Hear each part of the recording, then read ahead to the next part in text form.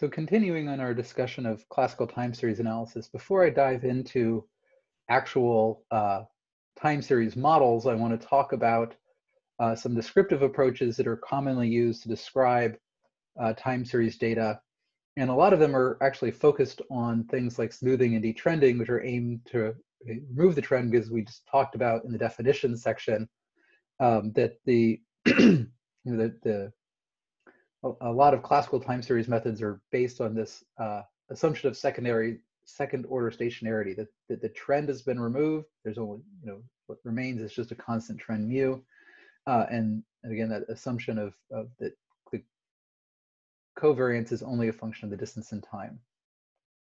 So diving in let's talk first about smoothing.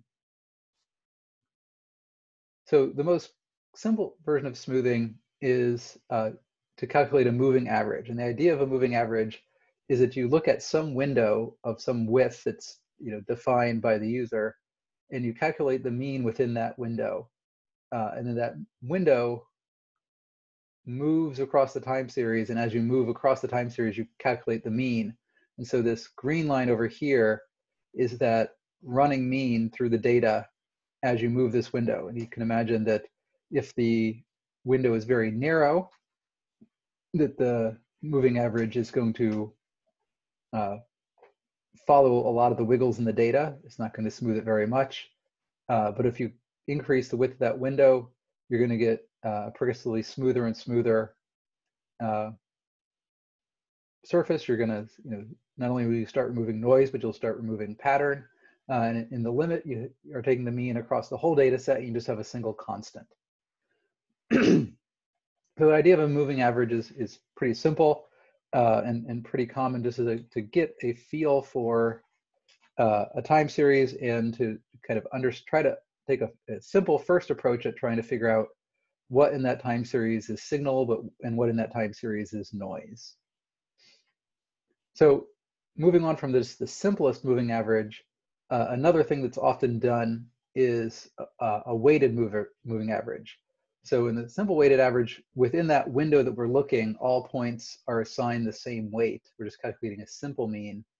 In a weighted moving average, we assign weights to different points uh, within that window. Uh, the weights have to be symmetric and, and sum to one. And so here is an idea of a, a moving window that's with seven, so zero being the, where you're centered on, and minus one, plus or minus two, plus or minus three. And I've given the most weight uh, to the center point and progressively less weight going out. Uh, these sort of moving averages, you know, you could use any function technically, you know, one that would be particularly common would be something like uh, choosing the Gaussian distribution uh, as a smoother. Um, triangular distributions are also sometimes used. Uh, but the idea is that you know the sum of all of these individual weights sum, sum to one, so that when you do a, a weighted average, which is just you know the weight times the value uh, summed up that you get something that uh, yeah has a, has the weight summing to one which is a key requirement of any weighted average. Uh, to generalize a little bit beyond that idea of, of a weighted moving average is the idea of a filter. A fil filter is a uh, any function that is moving forward uh, through time uh, that assign, in this case assigns weights to different points within a window. Uh, but in, in, the idea of a filter, the weights uh, do not need to be symmetric and they um, do not need to sum to one. That said, it's pretty common to choose them to sum to one, but they don't necessarily need to be symmetric. So it's a, a more general, it's a generalization of the weighted moving average. Um, in fact, you can use a weighted move moving average as a special case of a filter, but you can also uh, filter more generally. So in R, the function, a handy function to do uh, filters and weighted moving averages and simple moving averages is just the filter function, where X is your time series of data and K is your vector of weights, also known as your kernel, which is why it gets the letter K. So in this case, uh, in the plot we had before, we assigned weights that sum, to one.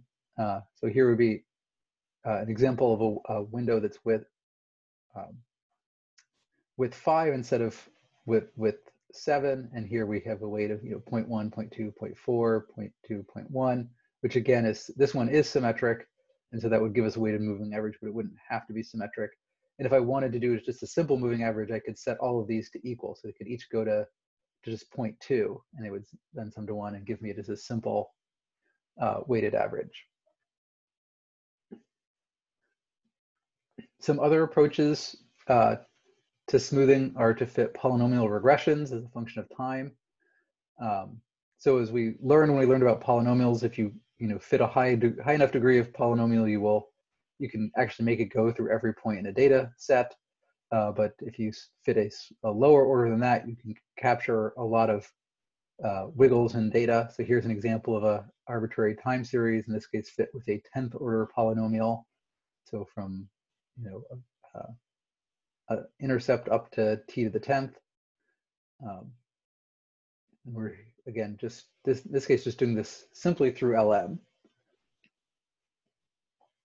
Um, and since the goal of smoothing is not to actually test a hypothesis, but just to kind of try to remove the trend from data, we're not actually usually going to do a hypothesis test. We're not trying to interpret the p-values here. We're just doing this in order to smooth the data. Uh, generalization of the polynomial approach uh, that actually combines the idea of the, the polynomial with the idea of a, a moving average is the idea of a, a local regression uh, within a moving window. So if you fit a regression model uh, to the points within a window, uh, and then you move that window a little bit and fit another regression model, and you move that window a little bit and fit another regression model, you connect all those regression models together, you get this uh, this idea of a, a, a, curve, which is a locally regression within a moving window. Um, when this is done, the window width is usually much larger than a simple moving average, uh, but it because you are using the polynomial as as a smoother in addition to using the moving window. Um, and then the, the, generalization of this uh, to a, a weighted version of that, where you weight the points closer to the center of the window more and the and towards the edges less, the same as we did the moving average, but now we're fitting a polynomial with those weights is known as a Lowess, uh, with the W there being for uh, the weighted. And in R, there's a simple function called Loess, and in fact, you've encountered this uh, probably before. It, it's a very common function used to fit trend lines, such as in R's default function when uh, for plotting residuals in a linear model you know, the, the functions used to fit trends through the residuals are, are simple lowess curves. Uh, here's an example, again, example time series, uh, fit, fitting a, a, a Loess curve with the first one uh, using a window that's two thirds of the width of the data, uh, and the second one using a width that's uh, one quarter of the width of the data. So we can see that it's, uh, again, smoothing through that data. So to wrap up, before moving on to other descriptive approaches, there's a bunch of different options uh, for smoothing. They're not uh, intended to be hypothesis tests. They're not intended uh, to to really ask deep questions about the data. They're they're usually descriptive, exploratory approaches, and, and also as well as approaches that are sometimes used just to you know try to remove trends uh, from data uh, before doing additional time series analysis.